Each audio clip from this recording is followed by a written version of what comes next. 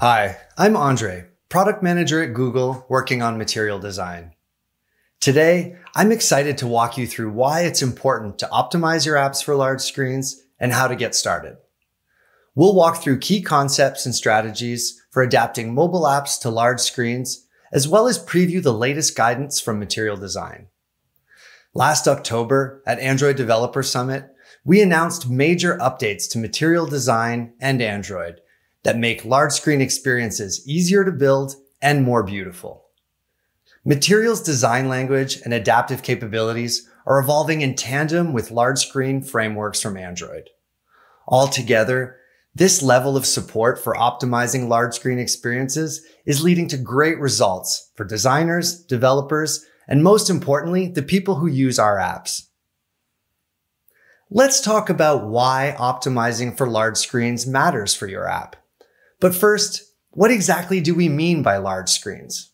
We're talking about device form factors beyond mobile phones, like foldables and tablets.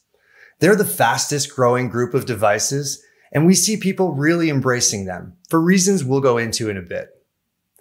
As app makers, we know that with every new device comes new challenges for designers and developers.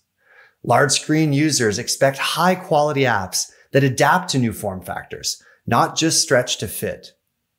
It's the expectation that elements and features rise to the opportunity of expanding to new screen real estate in ways that are intentional and appropriate for app functions. And these adjustments pay off because apps that optimize for large screens are seen to foster deeper engagement, signaled by longer user sessions and higher on-device spending when compared to apps that are not optimized. Not to mention, Google Play Store enables users to discover and engage with high quality tablet apps. We're working to support and promote the best tablet experiences to meet the growing demand. And since it's Google I/O, look out for a bunch of great Google apps sharing their large screen updates this week. They've applied many of the same principles and practices we're going to cover here. Before you start planning the layout of your app, consider the device basics and user expectations that change when an app is experienced on a larger screen. Let's talk about how the context, conditions, and expectations change from mobile to tablet and how you can lean into this to influence your design decisions. The first part is that devices are fundamentally different sizes, so we must consider ergonomics and proximity. Ergonomics might seem obvious, but considering the change in the way the device is held should play a direct role in your adaptation. One-handed tasks that can be completed quickly on a phone don't directly transfer to tablets because generally we expect people to use two hands when holding a tablet. So we don't recommend placing critical interactions in the middle of the screen. From a proximity perspective, which is the distance you are from the device, it's important to consider that in addition to being used as close as a mobile phone, Tablets are also used for longer range viewing. On large screens, users typically consume more content over longer sessions. This means that apps can anticipate the value of optimizing for a more comfortable and immersive content experience. There's also an expectation that apps offer more productivity opportunities when they transition to larger screens. So optimizing for capabilities and efficiency will enable people to get more done. The design challenge for large screens centers on how you meet the changing expectations your users will have for the same experience across different form factors. Here are four guiding principles for you to consider when tackling this challenge. Comfort, capability, efficiency, and immersion. Comfort. Larger screens are less constrained. There's more space. Take advantage of this capability. When people use tablets and foldable devices, they expect that with larger screen comes an ability to do more. What features would be at home on a wider canvas? Efficiency. Large screens bring multitasking to the forefront of the experience. It's a space made for users to do more than one thing at once. Consider how to support users in accomplishing their tasks efficiently. And immersion. It's a simplification of the layout that allows the user to immerse themselves in the content or a task. A great example of that is a video call, where the app adapts to immerse the user into the video stream, focused on the person they're communicating with. Next, I'll walk you through two main approaches for planning and adapting the composition of your apps for larger screens. Let's assume you've already perfected your mobile app design in portrait posture. That's fantastic. But now what? There are two main paths to consider when approaching adapting the composition of your mobile apps for tablets.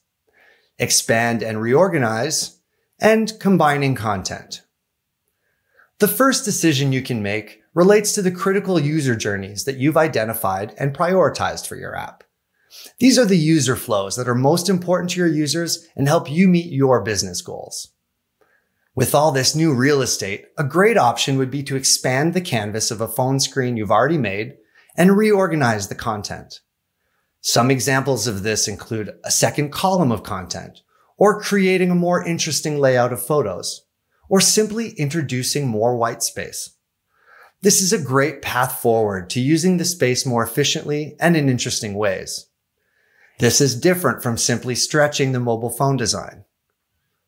Another option to consider is to combine content by adding another screen.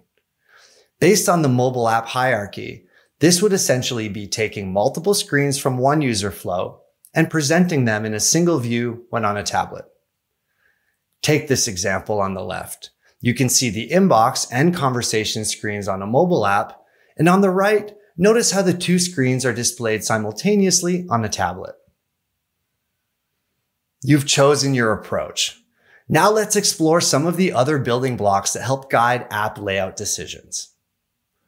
Layout regions are the foundations for interactive experiences. They consist of three main regions, the body region, the app region, and the navigation region. The body region is used for displaying most of the content in an app. The app bar typically contains high-level controls and actions related to the content in the body region. And the navigation region holds navigational components, such as the navigation drawer or navigation rail, which help the user navigate between destinations in an app.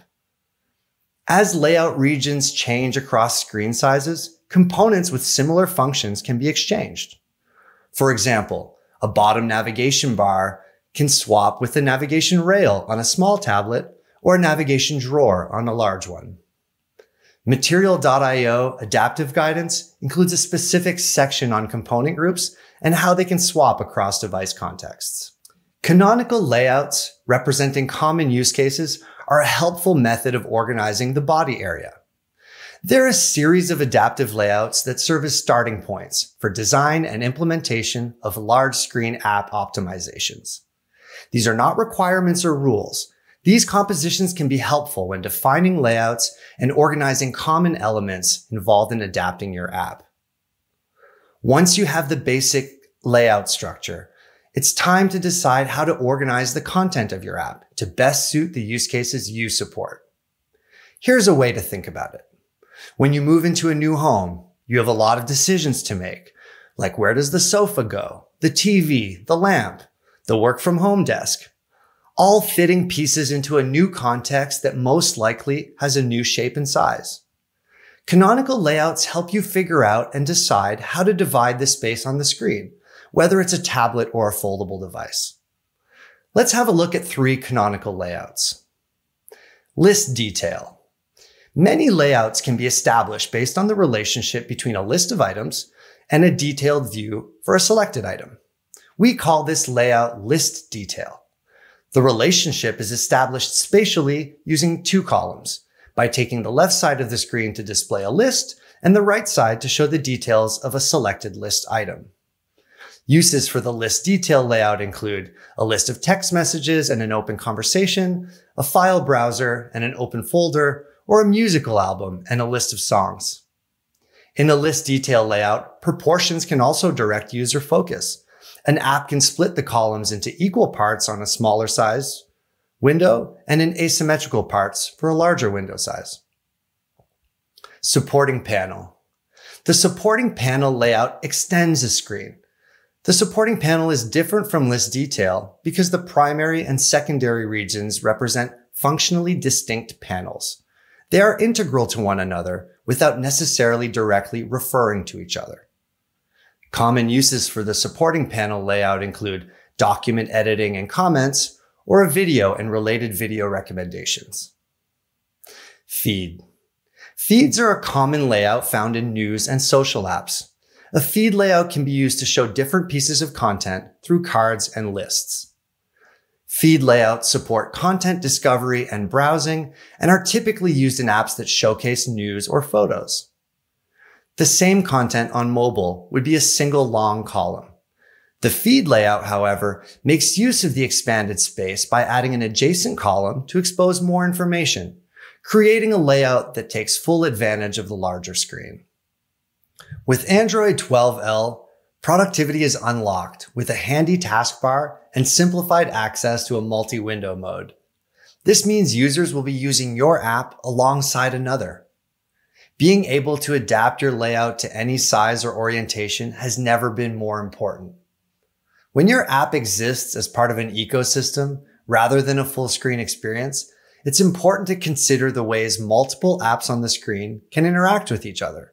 For example, through dragging and dropping content between apps. This can be accomplished either through touch gestures or other control methods that make moving content more accessible.